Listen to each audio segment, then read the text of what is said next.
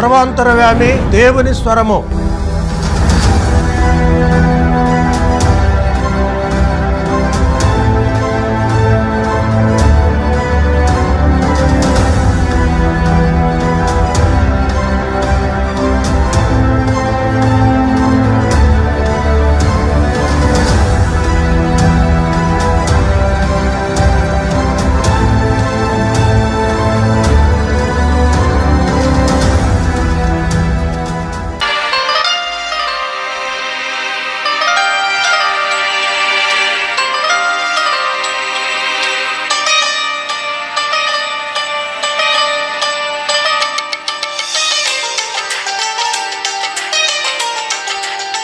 ప్రైజ్లా హల్లెలూయా. ప్రభుకు మహిమ కలుగును గాక.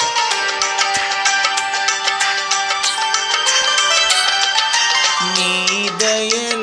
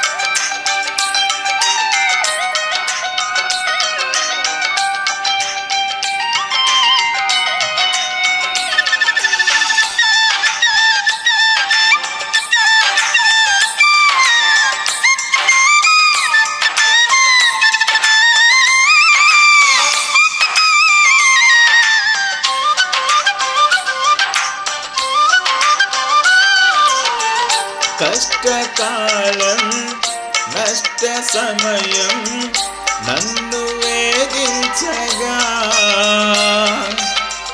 ప్రాణహితులే నన్ను విడచి వెలిగొనను చూడగా.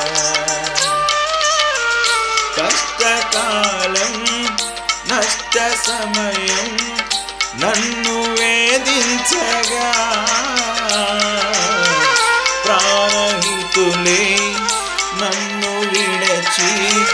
వెలిగనను చూడగా. ఓదార్పువైన చెంత నీవే చేరినావు. నా కన్నీరు నీ కవితలో రాసి ఉంచినావు.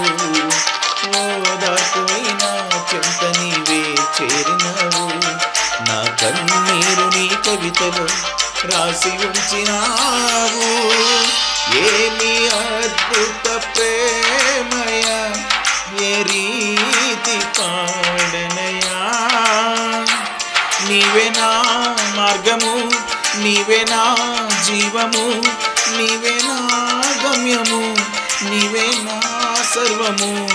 నా మనసు తీర నిన్ను పాడుకొని ఎదదేవా నీ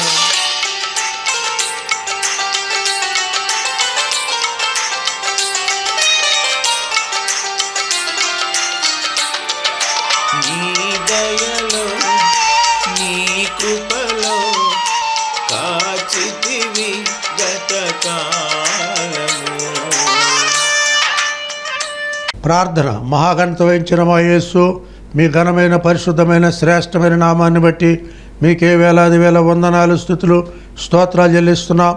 ఇంతవరకునైనా ఈ రోజునైనా మరి ఒక సాయంకాల సమయాన్ని మీరు మాకు అనుగ్రహించినందుకై వందనాలు. ఈ కార్యక్రమం ద్వారా మీ సన్నిధికి వస్తున్నాం.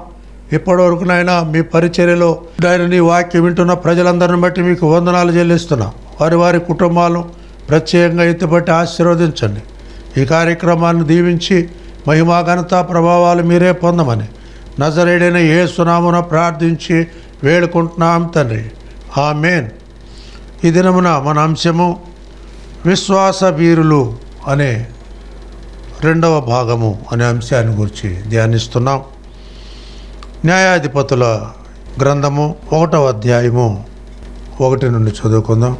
యహోశివా మృతి నొందిన తరువాత ఇస్రాయేలీలు కానానీయులతో యుద్ధము చేయుటకు తమలో ఎవరు ముందుగా వారి మీదికి పోవలసినది యహోవా తెలియజేయనట్లు ప్రార్థన చేయగా యహోవా దేశమును యూదా వంశస్థులకిచ్చున్నాను వారు పోవాలని సెలవిచ్చెను.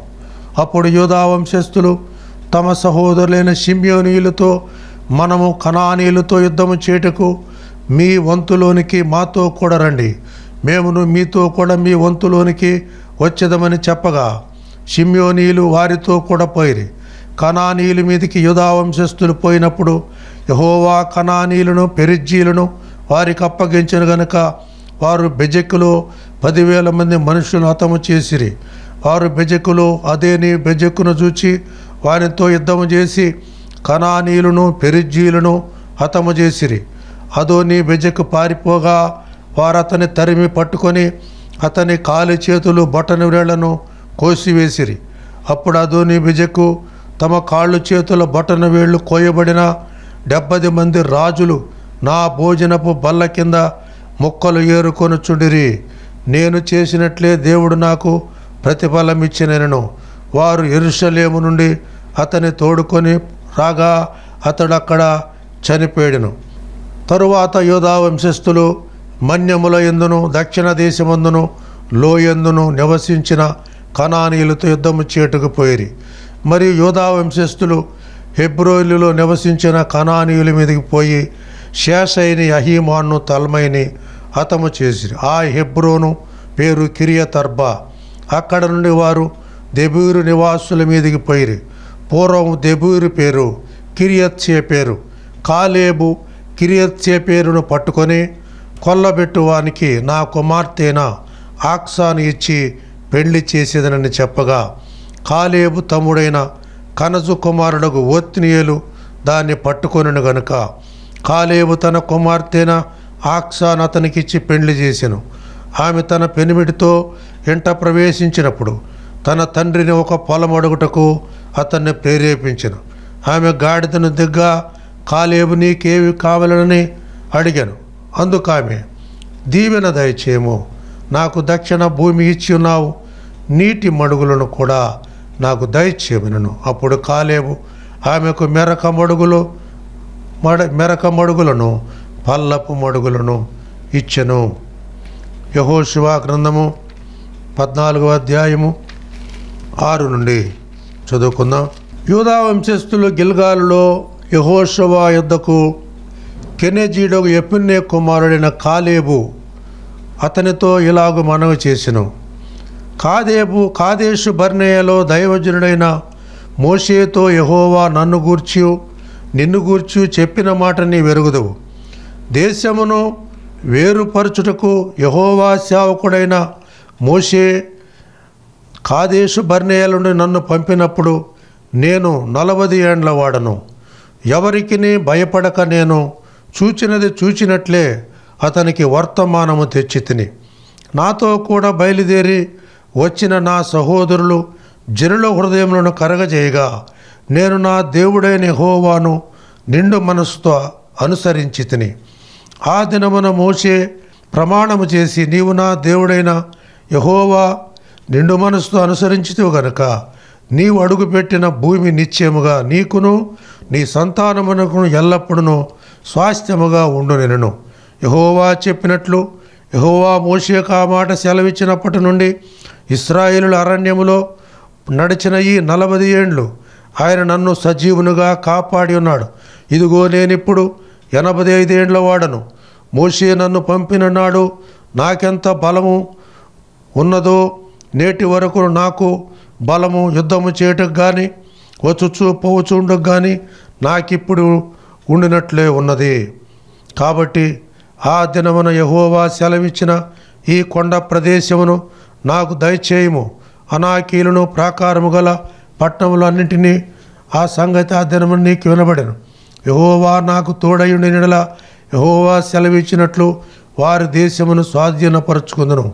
ఎపుణ్య కుమారుడైన కాలేబు ఇస్రాయేల్ దేవుడైన యహోవాను నిండు మనసుతో అనుసరించువాడు గనక యహోవా అతన్ని దీవించి అతనికి హెబ్రోనును స్వాస్థ్యముగా ఇచ్చెను. కాబట్టి హెబ్రోను ఎపుణ్య అనే కెనీజీని కుమారుడైన కాలేబునకు నేటి వరకు స్వాస్థ్యముగా ఉన్నది. పూర్వము హెబ్రోను పేరు కిరియత్ అర్బా అర్బా అనాకీలలో గొప్పవాడు. అప్పుడు దేశము యుద్ధము లేకుండా నెమ్మదిగా ఉండెను. మన అంశము కాలేబు అనే వ్యక్తిని గురించి మనము ధ్యానిస్తున్నాం. కాలేబు అనగా కుక్క అని అర్థము.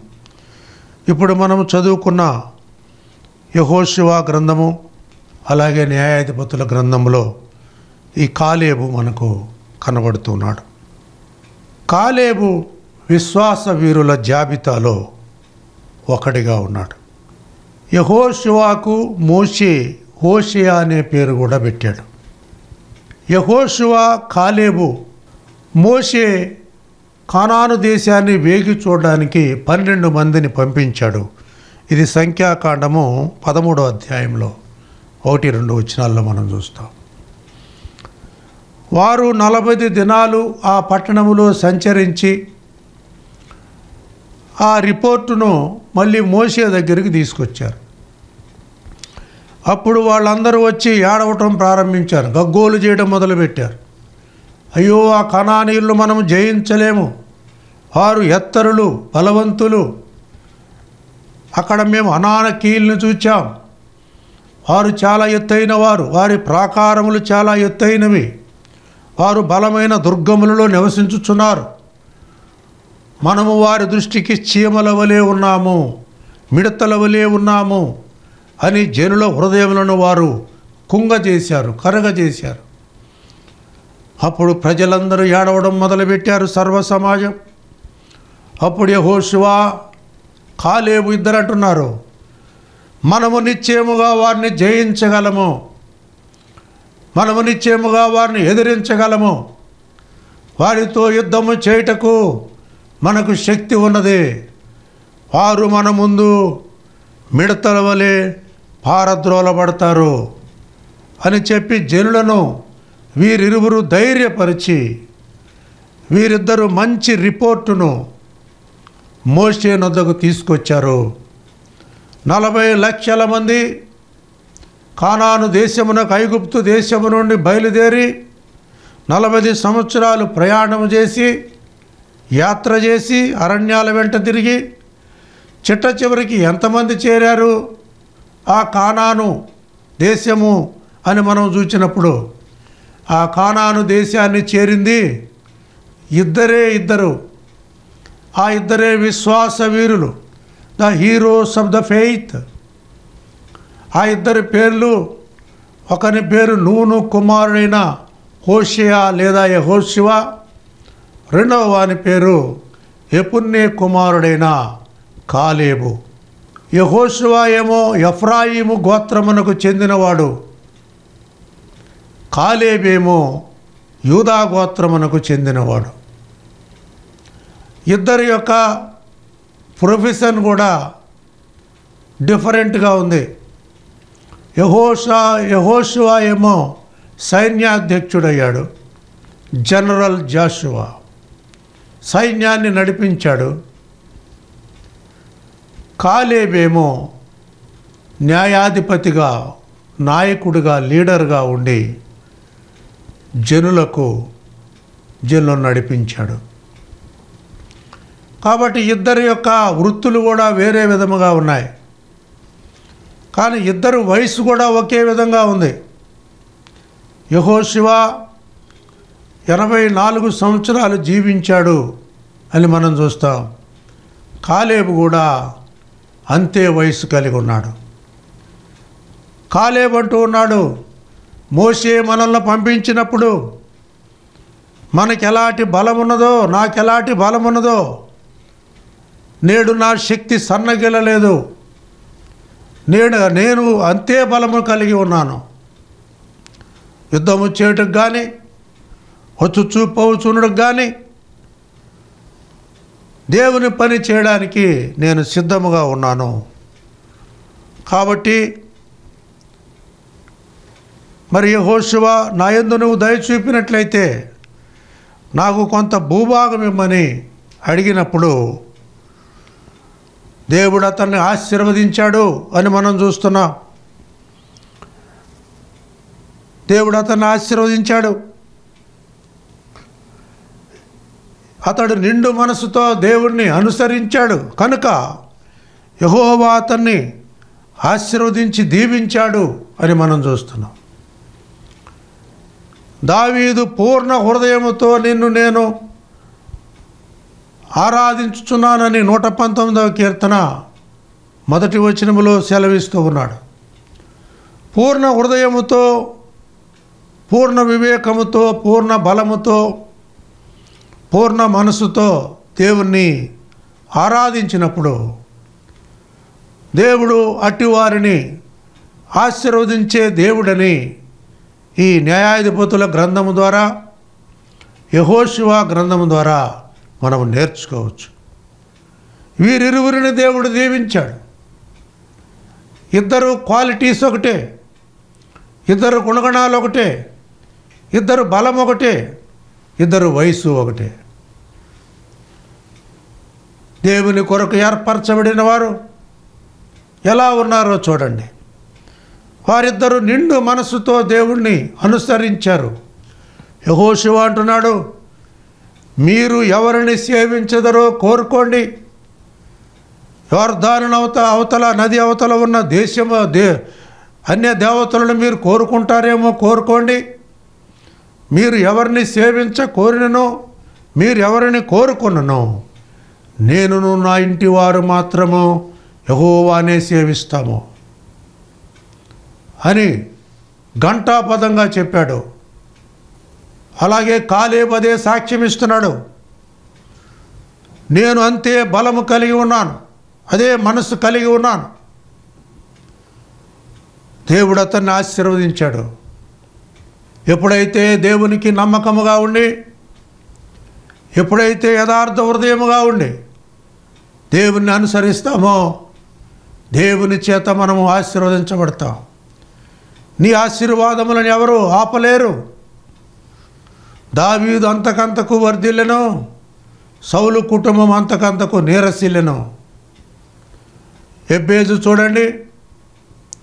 హెబ్బేజు ఇస్రాయేల్ దేవుని గురించి మొర్రపెట్టి దేవుణ్ణి అడిగాడు నిశ్చయముగా నీవు నన్ను ఆశీర్వదించి నా సరిహద్దును విశాలపరిచి ఏ కీడు రాకుండా దానిలో నన్ను తప్పించుము అని చెప్పి దేవుణ్ణి అడిగినప్పుడు యహోవా అతడు మనవి చేసిన దాన్ని అతనికి దయచేశాడు అని రెండవ దిన వృత్తాంతంలో గ్రంథము నాలుగవ అధ్యాయము ఆరో వచనంలో మనం చూస్తాం. ఎందుకని? యహో ఎబ్బేజు తన సహోదరులందరికంటే ఘనము పొందినవాడై ఉన్నాడు. ఎందుకు ఘనము పొందినవాడయ్యాడు వేదనపడి అతని కంటినని అతని తల్లి అతనికి ఎబ్బేజు అనే పేరు పెట్టింది. ఘనము పొందాడు. ఎందుకు ఘనము పొందాడు? అంటే అతడు దేవుని ఎడల యథార్థముగా ఉన్నాడు. దేవుణ్ణి ప్రార్థించేవాడుగా ఉన్నాడు.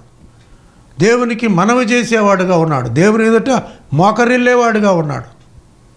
అందుచేత దేవుడు అతన్ని ఆశీర్వదించాడు. అతడు మనవి చేసిన దాన్ని దేవుడు అతనికి దయచేశాడు. దావీదు ఆశీర్వదించబడ్డాడు వర్ధిల్లాడు. ఎందుకు వర్ధిల్లాడు అంటే దేవుని ఎడల యథార్థ హృదయముతో దేవుని ఆరాధించాడు. అందుకని పద్దెనిమిదవ కీర్తనలో అంటాడు దావీదు యథార్థవంతుల ఎడల నీవు యథార్థ హృదయముగా వలవాడ గలవాడవుగా ఉందువు. గర్విష్ఠుల ఎడల నీవు ప్రతీకారము చూపుదువు. సద్భావము గలవారి ఎడల నీవు సద్భావము చూపుతావు. దావీదు దేవునికి హృదయానుసారుడు. హార్ట్ ఆఫ్టర్గా ఆఫ్టర్ గాడ్. దేవుని ఉద్దేశ్యము నెరవేర్చువాడు. ప్రతి విషయంలో దేవుని యొద్ద అడిగి విచారణ చేసే మనసు గలవాడు. కాలేబు కూడా అంతే. ప్రతి విషయంలో దేవుని దగ్గరికి వెళ్ళి ప్రార్థించి జవాబు పొందేవాడుగా ఉన్నాడు. యహోశివ కూడా అంతే. హాయి మీద అతనికి అపజయం కలిగింది. అప్పుడు దేవుని సన్నిధికి వెళ్ళి ఒక రోజంతా అతడు భోజనం చేయకుండా ఉపవాసం ఉన్నాడు అప్పుడు దేవుడు అతను చెప్పినాడు నువ్వులే నేరం చేసిన వాడెవడు నేను వాడిని పట్టిస్తాను. సమా సమాజమును నువ్వు భక్తులుగా సమకూర్చు సమావేశపరచు. ఒక గోత్రము చొప్పున నిలబెట్టు నేను పట్టిస్తాను. యోధా లేవి షిమియోను రూబేను గాదు దాను నప్తాలి ఆషేరు అన్ని గోత్రముల వారు నిలవబెట్టాడు. ముందు యోధా గోత్రం పట్టబడింది. జబ్దీ గోత్రం పట్టబడింది. హూరు మనముడు ఆకాన్ అనేవాడు పట్టబడ్డాడు. గడగడా వణుకుతున్నాడు. ఏం చేశావురా? అయ్యా నేను ఒక శిరారు వస్త్రాన్ని ఒక వెండి కమ్మిని ఒక బంగారు కమ్మిని తీసుకొచ్చి గుడారములో దాచిపెట్టాను. ఎందుకు ఈ పని చేశావు? శపితమైన దానిలో దేన్ని తీసుకోవద్దని చెప్పలేదా? ఇప్పుడు మనం వీడిని ఏం చేద్దాం? అని అడిగాడు ఇస్రాయేలీని వీడిని పల్లములోకి దించుదాం లోయలోకి దింపి వీడి మీద తల ఒక రాయేద్దామన్నారు అప్పుడు వాడిని వాడి కుటుంబాన్ని పిల్లల్ని లోయలోకి దించారు. తల ఒక రాయేశారు అప్పుడు దానికి యహోశివ ఆకోరు అనే పేరు పెట్టాడు. అంటే శ్రమ. ఆ రోజున మూడు వేల మంది ఇస్రాయిలు హతమార్చబడ్డారు. ఇస్రాయేలీలరా శాపగ్రస్తమైనది ఒకటి మీలో కలదు. శాపగ్రస్తమైన దాన్ని ఇంట్లో పెట్టుకున్నావా? గెహాజీతో ఎలీషా అడుగుతున్నాడు గెహాజీ ఎక్కడికి వెళ్ళావు? నేను ఎక్కడికి వెళ్ళలేదండి ఇక్కడే ఉన్నాను. నీవు అరణ్యము కటముగా పరిగెత్తుకొని వెళ్ళి నేను తీసుకుని వద్దని చెప్పిన కానుకలు నీవు ఆ నయమాను దగ్గర నుండి తీసుకుంటున్నప్పుడు నా ఆత్మ నీతో కూడా రాలేదా? వెండిని బంగారమును ధనమును ద్రాక్ష తోటలను సంపాదించడానికి ఇది మనకు సమయమా? ఏ నయమానికి ఏ కుష్ఠరోగం అయితే విడిచిపెట్టి వెళ్ళిందో అదే కుష్ఠరోగం నేడు నీకును నీ సర్వసంతతికిని అంటి ఉండునుగాక అని చెప్పిన వెంటనే గెహాజీ కుష్ఠవ్యాధి గలవాడై బయటికి వెళ్ళిపోయాడు. ఏలియా శిష్యుడు ఎలీషా అయితే ఎలీషా శిష్యుడు గెహాజీ ఏలియా ఎన్నో అద్భుతాలు పరాక్రమాలు చేశాడు. ఎలీషా కూడా అదే పరాక్రమాలు చేశాడు. ఆ తర్వాత వచ్చే వంతు ఎవరిది? గెహాజీది. కానీ గెహాజీ ఏమయ్యాడు? కుష్టు వ్యాధి గలవాడయ్యాడు. చాలామంది చెట్టు పేరు చెప్పి కాయలు అమ్ముకుంటున్నారు మా నాన్నగారు అదండి మా తాతగారు ఇదండి మా మా అమ్మ మా జేజమ్మ ఇదండి డీకన్ అండి సంఘ పెద్ద అండి రెవరెండ్ అండి బిషప్ అండి అని చెప్తూ ఉంటారు. కానీ నీ పరిస్థితి ఏంటి?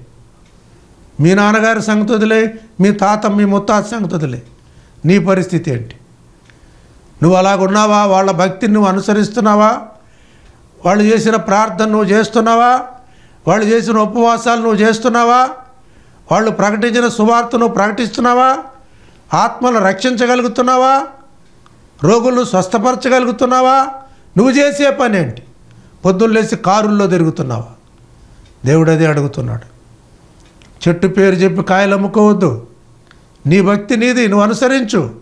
వాళ్ళ పేర్లు వీళ్ళ పేర్లు భక్తిలోకి తీసుకురావద్దు. క్రైస్తత్వం అనేది వారసత్వం సంపద కాదు.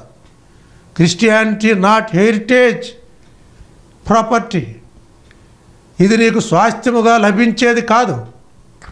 Christianity is the the way of righteousness క్రైస్తవ్యము నీతి మార్గము. క్రైస్తవ్యము సెల్ఫ్ సెంటర్నెస్ నీ మట్టుకు నీవే రక్షణ పొందేది. ఆర్ యు బోనగాయ్ నువ్వు తిరిగి జన్మించావా? మీ తల్లి జన్మించింది మీ తండ్రి జన్మించాడు కాదు. నువ్వు జన్మించావా? ఒకడు క్రొత్తగా జన్మించని ఎడల అతడు దేవుని రాజ్యములో ప్రవేశించలేడు. ఒకడు క్రొత్తగా జన్మించిన ఎడల అతడు దేవుని రాజ్యమును చూడలేడు. మోసే కానాను దేశాన్ని చూచాడు. కానీ కానాను దేశంలో ప్రవేశించలేకపోయాడు. ఎవరు ప్రవేశించారు అంటే యహోశివ కాలేబులు ప్రవేశించారు. కాబట్టి ఇతడు మరి ఎంతో విశ్వాస వీరుడుగా మనకు కనబడుతున్నాడు కాలేబు. యహో శివ కాలేబుల యొక్క మాదిరిని మనం అనుసరించాలి. వారికున్న వీరత్వము వారికున్న పౌరుషము వారికున్న నమ్మకత్వము దేవునికి ఒక రిపోర్ట్ ఇచ్చేటప్పుడు అది ప్రజల హృదయాలను కుంగదీసేదిగా ఉండకూడదు. ప్రజలను ధైర్యపరిచేదిగా ఉండాలి. ప్రజలను మెలిపెట్టేదిగా ఉండకూడదు. ప్రజల్ని ఇబ్బందులు పాలు చేసేది ఉండకూడదు. ప్రజలకు మేలుకరమైన మంచి వార్త ప్రజలకు అది ఆరోగ్యకరమైందంట. మంచి వార్తను మనము తీసుకొచ్చేవారం ఉండాలి. దుర్వార్తలు మోసుకురావడం కాదు. చెడ్డ వార్తలు మోసుకురావడం కాదు. అపవాది అనేవాడు ఉన్నాడు వాడు ఎంతసేపు చెడ్డ వార్తలు మోసుకొస్తాడు? నువ్వు ఎలాంటి వార్తలు మోసుకొస్తున్నావు? దేవుని దగ్గర నుండి ఎలాంటి వర్తమానం తీసుకొస్తున్నావు? యహోషువా కాలేబుల్లాగా ఉదయాన్నే లేచి ప్రజలకి ప్రవక్తల్లాగా మంచి వర్తమానాన్ని సిద్ధపరచాలి దైవజనుడు.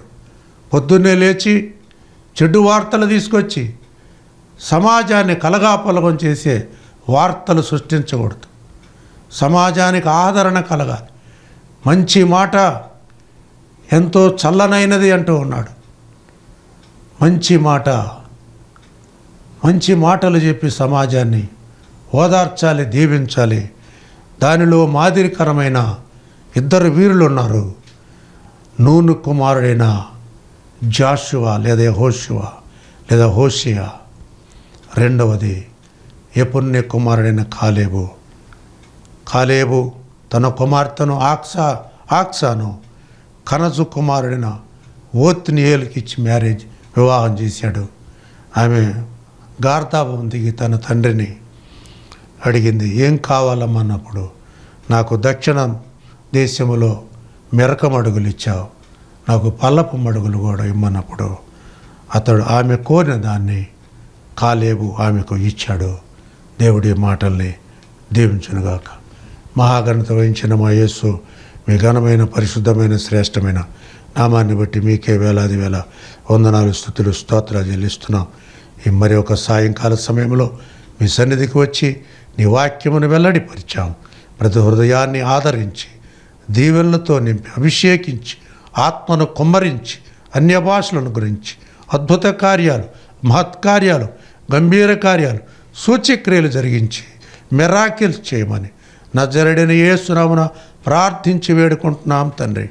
ఆ మేన్ తండ్రి అయిన దేవుని ప్రేమ కుమారుడని యేసుక్రీస్తు కృప పరిశుద్ధాత్మీయత నుండి వచ్చే అన్యోన్య సహవాసం ఆయన సన్నిధి భూలోకముద్రుని సకల పరిశుద్ధులకును విశ్వాసులకును ఆయన సముఖములో ఉండి ఆయన మాటలను ఇంతవరకు ఆలకించిన ఆయన దాసులు దాసులు అంటుకును ప్రతి ఒక్కరికి సదాకాలము తోడయుండి నడిపించునుగాక.